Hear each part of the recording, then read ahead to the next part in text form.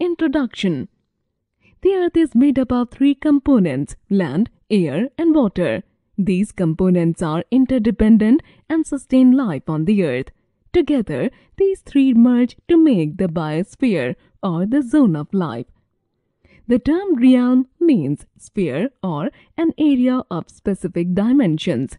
The four main realms of the earth are lithosphere, hydrosphere, atmosphere, and biosphere. Lithosphere The outermost solid layer of the earth is called the lithosphere. It is also called the crust of the earth. This realm consists of the large land masses of the continents and the huge water bodies called the oceans. It is here that we find mountains, plateaus, and plains. We also find life, plants, animals, and humans. It has a soil layer that allows plants to grow. Resources like oil, gas, and minerals are also found here. The lithosphere consists of two types of crusts, continental and oceanic. The continental crust runs below the continent. It is the upper crust and is also called Sial which is made up of silica and alumina. Its thickness varies between 40 and 100 km. It is thicker under the mountains. The oceanic crust is the lower crust and is found below the oceans as well as under the Sial. It is also called Sima as it is made up of silica and magnesium. It is much thinner with an average thickness of just 6 km the level of seawater remains the same everywhere. For example, 3200 meter above sea level means that the elevation of land is measured from the level of the sea, which is taken as zero. Continent Formation of the continent Continents make up the landmass of the lithosphere. Plate tectonics may explain why we have continents. Scientists believe that all the continents were once joined together as one major landmass or giant supercontinent called Pangaea. When the lithosphere broke apart, Pangaea also split into different continents. There is evidence to support this theory. For example, the eastern coast of South America and the western coast of Africa look like they would fit together. Even though they are separated by an ocean, similar animals and plants are found in both the regions. Fossils of the same reptiles have been found in both South America and Africa. There are seven continents in all. Most of these lie in the northern hemisphere. Asia, the world's largest continent, covers one third of the Earth's total land surface and is surrounded by the Arctic Ocean in the north the Indian Ocean in the south and the Pacific Ocean in the east. It has the highest mountains and the lowest points in the world. Some of the world's longest rivers such as the Yangtze, Euphrates, Indus and Ganga as well as deserts such as Gobi and Thar are in Asia. It also has the highest population among all the continents. Ancient civilizations of the Indus Valley, China and Mesopotamia thrived here. This continent lies in the eastern hemisphere. Africa is the second largest continent in the world, covering about one-fifth of the Earth's land surface. The continent is surrounded by the Atlantic Ocean in the west and the Indian Ocean in the east. Africa is joined to Asia by the Isthmus of Suez. Most of Africa is a vast plateau with the Atlas Mountains in the northwest and the Cape Ranges in the south. It has the world's largest hot desert, the Sahara Desert. The equator or zero degree latitude runs almost through the middle of the continent. A large part of the continent lies in the northern hemisphere. North America is the third largest continent in the world it is surrounded by the Arctic Ocean in the north, the Atlantic Ocean in the east, and the Pacific Ocean in the south and west. North and South America are joined by the Isthmus of Panama. It also has the second longest coastline of 60,000 km. Some of the major rivers in this continent are Mississippi, Mackenzie, Red, Yukon, and Lawrence. The Great Lakes in North America is the largest group of freshwater lakes on the earth. The world's most striking canyon in the world, the Grand Canyon, is located in North America. This continent lies in the Western Hemisphere. South America is the fourth largest continent in the world, covering one-eighth of the Earth's land surface. It is bounded by the Pacific Ocean on the west and the Atlantic Ocean on the north and east. South America has the largest river basin in the world, drained by the Amazon River.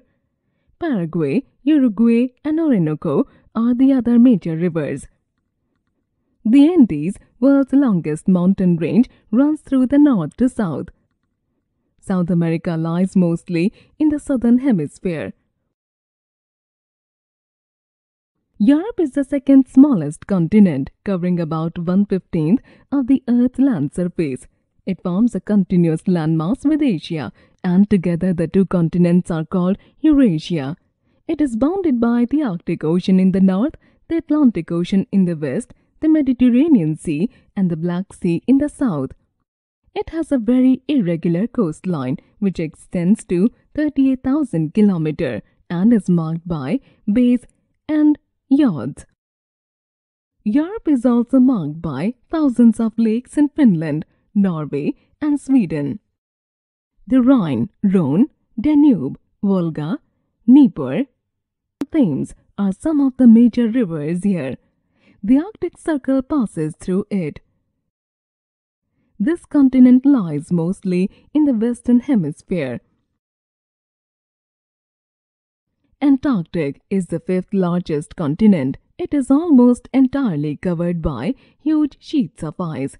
It lies in a circular pattern around the South Pole with an average elevation of 2195 meter. It is the world's highest continent. Nearly 95% of the continent is covered by ice and snow, so no one really knows what lies underneath the thick sheet of ice. Due to this reason, the only forms of life are land plants and animals that have adapted to the extremely cold climate of this continent. There are no permanent human settlements in Antarctica. It lies completely in the southern hemisphere. Australia is the only continent, the smallest, that is also a country, the sixth largest. It is surrounded on all sides by oceans and seas and is also known as the island continent. Australia is marked by low relief and aridity. The major rivers of the continent are Murray, Darling, Flinders and Swan. The Great Barrier Reef is one of the most remarkable relief features of Australia. It is composed of corals. It lies entirely in the southern hemisphere. Hydrosphere, oceans. All forms of water on our earth form the hydrosphere. So, the oceans, seas, lakes, rivers, streams, waterfalls, water vapor in the air, glaciers, ice, and snow are all part of the hydrosphere there seems to be more water than land. This is the reason the Earth is called a blue planet. More than 71% of the Earth is covered with water and 29% is land. How many oceans do we have? It is actually one body of water that has been named differently at different places. All oceans merge into each other. Nearly 95% of all water is in the oceans and seas and it is salty. Only 5% is available as fresh water. Apart from the four major oceans, the Pacific, Atlantic, Indian and Arctic, many geographers call the water surrounding Antarctica as the Southern Ocean. It is the place where the waters of the Pacific, Atlantic and Indian Oceans merge. The Pacific Ocean is the largest ocean in the world it covers one third of the Earth's surface. Its area is larger than the entire landmass of the Earth. It has double the volume of water than that of the Atlantic. The average depth is about 4,267 meter.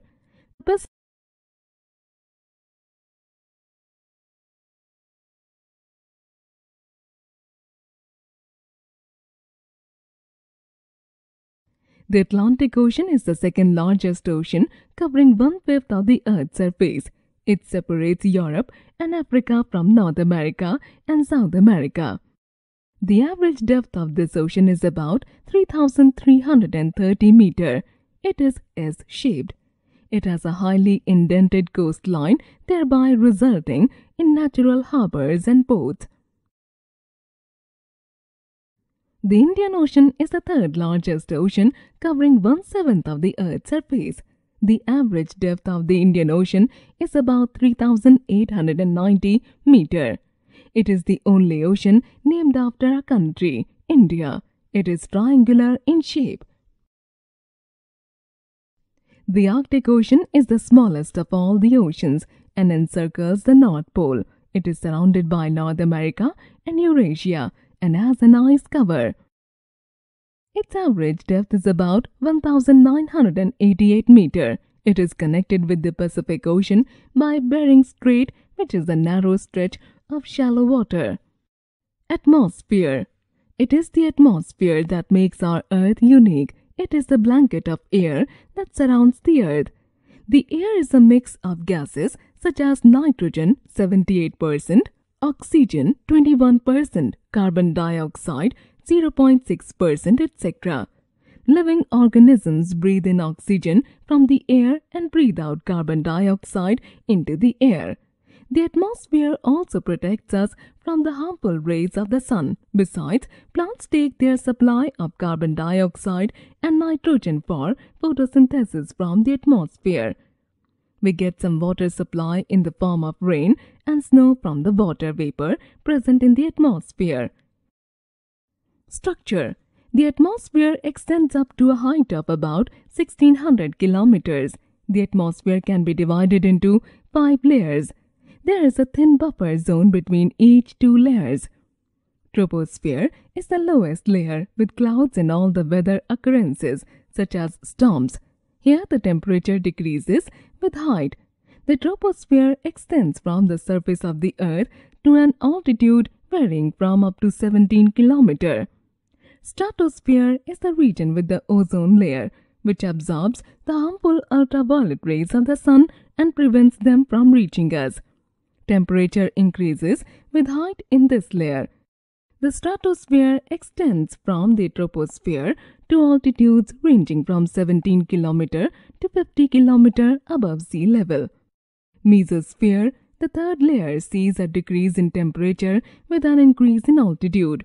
Ice crystal clouds are found here. It extends from the stratosphere to around 80 km above sea level.